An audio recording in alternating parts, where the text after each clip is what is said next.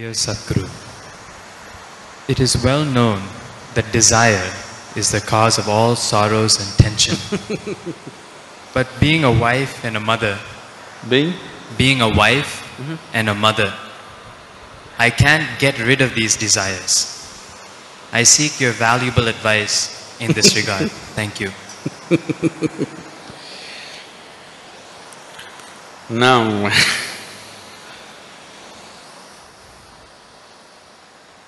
it's not because you're a wife, an intern, a mother, that your desires have come. If you were nobody's wife, you were probably you were desiring, when you were nobody's wife, you were desiring to be somebody's wife. Now that you're somebody's wife, you desire to have a child and become a mother. Now that you have a child, now you are saying, it is these two entities which is making me desire. It is not true. If you were nobody's nothing, even then your desire would still burn within you.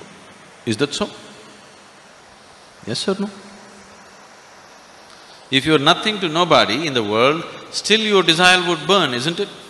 So please don't think your desires are because of your child or your husband or your family or whatever. Anyway you would desire, because that's your nature. Now, you made a statement in the question that desire is the source of all misery. Desire is not the source of all misery.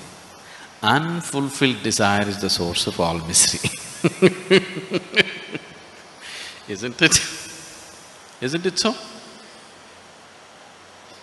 Desires fulfilled are the source of your joy. Unfulfilled desires is the source of your misery. Now, what to do with the desire? Shall we kill the desire? I know people have been teaching you such things. You must kill all your desires. Unless you destroy your desires, your misery will not go. These teachings have come to you, isn't it?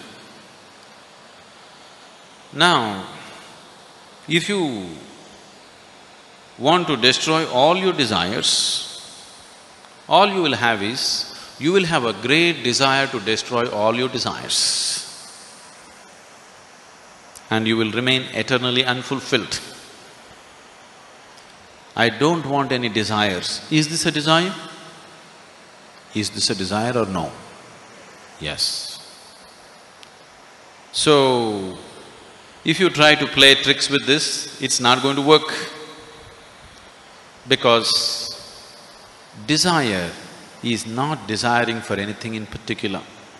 The energy which you call as desire is not different from the energy that you call as life. If you want to move from point A to point B, you need a desire, isn't it?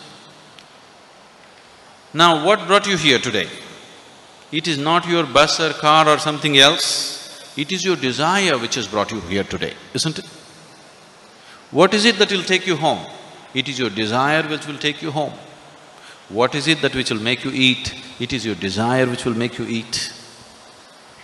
So, what you call as desire is not any different from what you call as life. The life is desire. The very basis of your life is desire, isn't it? So if I tell you kill the desire, the only way is to hang yourself. There is really no other way. Now I want to die, that is also a desire, isn't it? Yes or no? So do not deceive yourself with these things. Desire is the very essence of your life.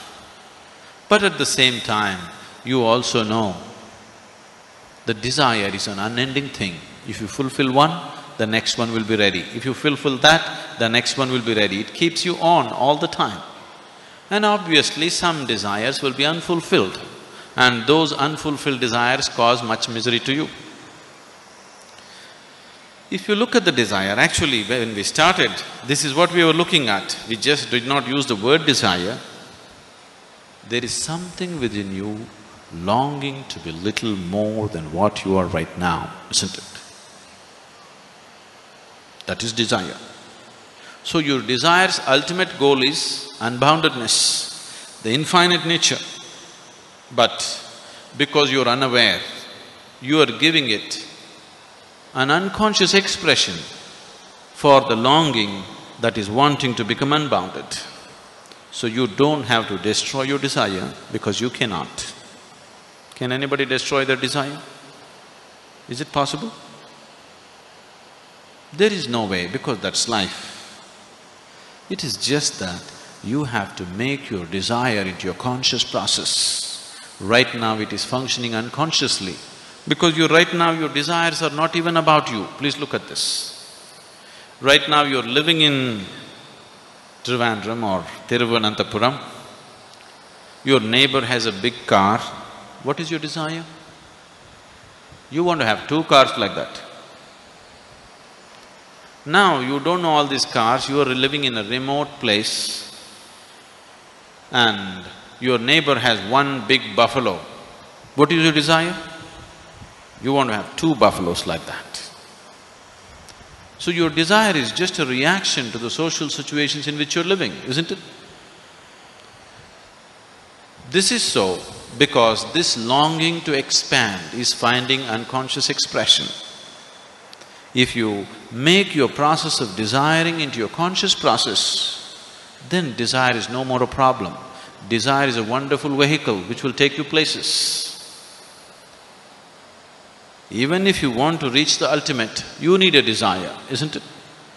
Yes or no? Anyway, the desire in you is longing for unboundedness, it is longing for unlimitedness, it is longing for the ultimate nature. You just have to bring awareness to it. If you bring awareness to your desiring process, it is a wonderful instrument. If it is finding unconscious expression, then it makes you run like madman. All the time it keeps you running endlessly. So, being a wife, being a mother, it's extremely important. Now that you're a mother, not a small responsibility, you brought another human being into this planet. Now, what kind of human being you produce is a very huge responsibility, isn't it? It is not just about reproduction. What kind of next generation you create is in your hands as a mother, isn't it? Yes? What kind of people are going to live on this planet in the next generation is decided by the mothers of today, isn't it? When such a responsibility you have, you cannot afford to live unconsciously. You must become conscious. Especially the woman must become conscious, it's very, very important